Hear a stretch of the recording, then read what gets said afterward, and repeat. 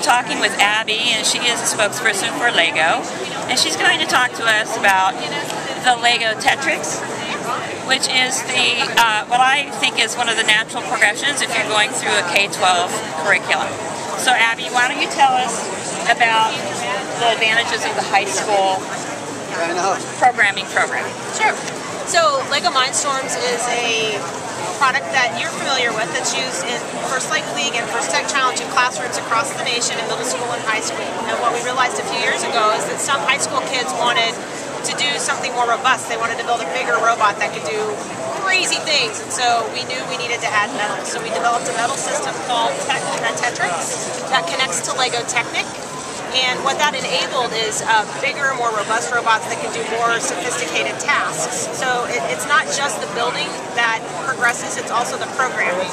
So first LEGO League teams and kids in middle school and upper elementary program using the traditional LEGO Mindstorm software.